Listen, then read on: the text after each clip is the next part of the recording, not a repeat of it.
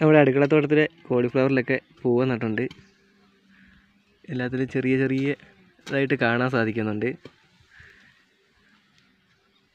നമ്മളന്നേരം ചെറുതായിട്ടൊന്ന് മണ്ണൊക്കെ കൂട്ടി കൊടുത്തിട്ട് ഒന്നുകൂടി ഇതിനെ